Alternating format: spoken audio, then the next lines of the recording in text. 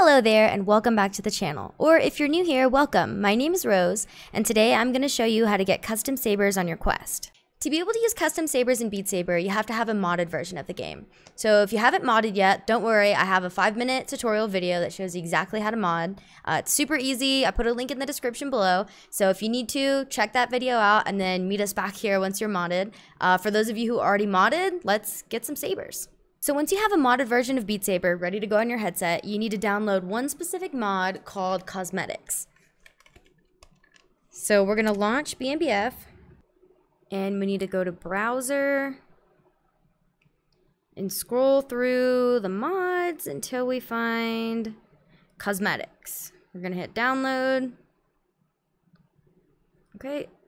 Sync to Beat Saber. Success.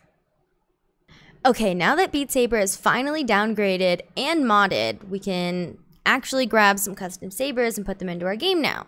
So the source that I like to use is the Qosmetics Community Discord server. I put a link in the description, of course, um, with an invite to the server. And then you'll want to go down to Q Sabers and just scroll through here and look at all the different sabers that have been uploaded and choose and download any of them that you like.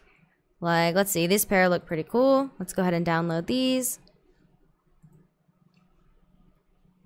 And then now that we have those downloaded, so with our headset plugged into our computer still and permissions allowed, you have to make sure you allow permission every time you plug it in. Unless you hit always allow from this device, then you shouldn't have to do that anymore. But we're going to go ahead and go to our Quest 2. And then we're going to click on mod data and open up Beat Games Beat Saber and go to mods and then go to Qosmetics.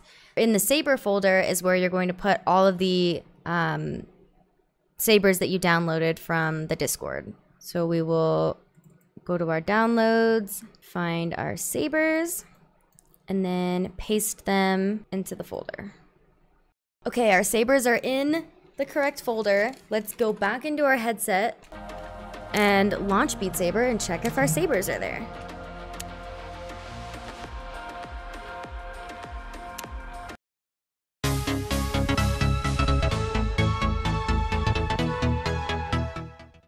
Hope you found today's video helpful and that you find some really cool sabers to use for your game. If you did find the video helpful, consider giving it a thumbs up and subscribing to the channel with notifications on so that you can catch more videos like this in the future. If the video wasn't helpful to you, uh, let me know why in the comments below. I'm still trying to improve the channel and your feedback might be able to help me make it better for next time. Thanks a bunch. YouTube subscriptions are completely free. I actually love it when I get likes and subscribes on YouTube. You can sub to me today on YouTube, so feel free to go to my YouTube channel and, and subscribe.